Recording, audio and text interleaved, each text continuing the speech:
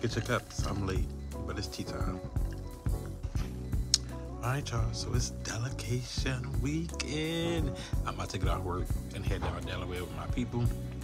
But I will say, surround yourself with some positive, positive people that's will support you and have your back at all times. That's going where you're going, and that keep themselves at a high standard, just like you, because they won't bring you down.